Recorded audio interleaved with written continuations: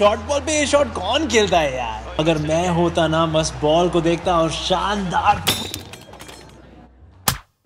खुद को एक्सपर्ट समझते हो तो खेलो प्लेयर स्पॉट पर लोएस्ट एंट्री फ़ी में। इस गेम में फाइनेंशियल रिस्क है और लत लग सकती है। कृपया ज़िम्मेदारी से खेलें और अपनी रिस्क पे खेलें।